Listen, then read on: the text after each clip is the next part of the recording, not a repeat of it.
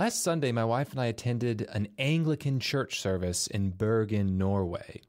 It reminded me of my childhood church because the service was vacuous, anti intellectual, and a complete waste of time.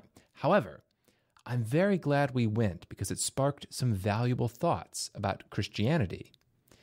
The building itself that we were in was historic, dating back to the 12th century. It's called St. Mary's Church. It is beautiful on the inside. Hanging in the middle of the sanctuary is a life size replica of the crucifixion of Jesus. I've never seen anything like it in my life. It was huge and disturbing.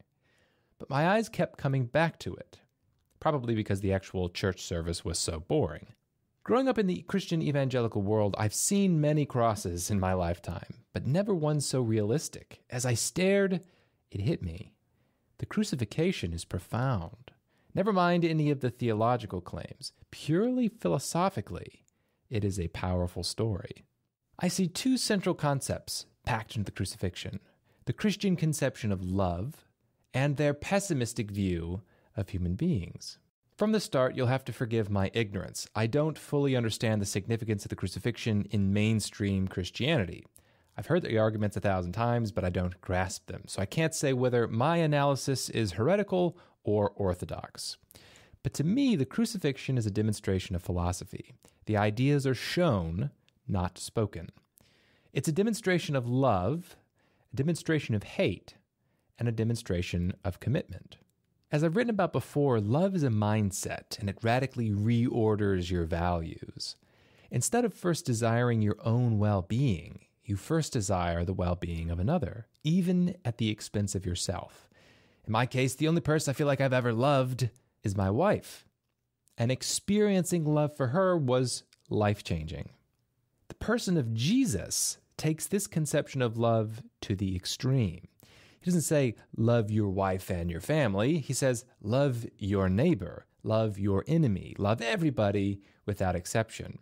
In other words, value others as highly as you value yourself, even at your own expense, which is a radical or impossible idea. So, a unique part of the story is Jesus' commitment to love. Taken to its logical end, his argument implies be willing to die for strangers that hate you. According to the canonical story, he wasn't hypocritical about this either. He actually died for strangers that hated him. It wasn't a glamorous death either. He was mocked, tortured, and executed. And this is where the replica affected me. Most people don't see a crucifixion and think, oh, now that's love. But given my prior experiences, that's actually what I thought. In the extreme loving state of mind, I would do anything for my wife, Julia. I would even be willing to be crucified. That intensity of love can only be understood once you've experienced it yourself. From the outside, I'm sure it looks and sounds like insanity. What also struck me is the physical position of the crucified body. It's in a state of total openness and frailty. The arms are spread wide, unable to cover or defend itself. It's a humiliating position, completely vulnerable, without even the ability to protect itself. And this, too, reminds me of the loving state of mind. You have to be 100% honest and real with your partner that means being completely vulnerable to the point of heartbreak or worse. When you reach that point, you aren't in control of what happens. It's as if your hands are physically nailed apart and you cannot shield your heart from the other person. In my analysis, love is one half of the crucifixion, and hate is the other half.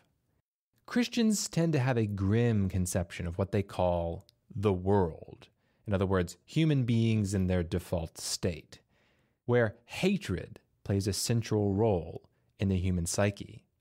Left to their own devices, humans are selfish, greedy, and barbaric hypocrites who aggressively reject the philosophy and mindset of love. So, this is where you get the central juxtaposition.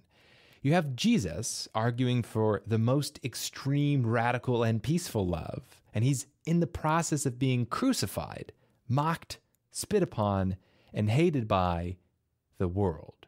So in the crucifixion, you have love and hate, unified by the same act. To the Christian, the world can tolerate liars and murderers, but it cannot tolerate true love. Again, the physical position of the crucified body strikes me as poignant. It's meant to mock and torture. Humans are essentially saying, Oh, yeah, love is so great. How's it working for you up there, buddy? The implicit presupposition being, well, if a philosophy is correct, it will result in happiness, wealth, and respect. And since Jesus' philosophy demonstrably led to his own pain, humiliation, and death, and derision, it must therefore be wrong. I don't know if your average Christian would agree with my analysis, but it seems like the most charitable understanding of the crucifixion without including any theology. While I am sympathetic to the Christian conception of love based on my own experiences, I remain undecided about the perspective of human nature in general. Are human beings really so bad? I don't know, though I admit every week I grow more pessimistic. From my own experience, love does seem to polarize people. I've been mocked by those who think I'm naive and deluded. And I expect a few people would be very thrilled to learn if I got divorced, I fell out of love, or I was even killed. As I investigate different religions, one thing is clear their philosophical and ethical claims can be evaluated without any need for any theology or dogma. The crucifixion of Jesus is profound, whether you think it's a historical event, a supernatural event, or simply a metaphor.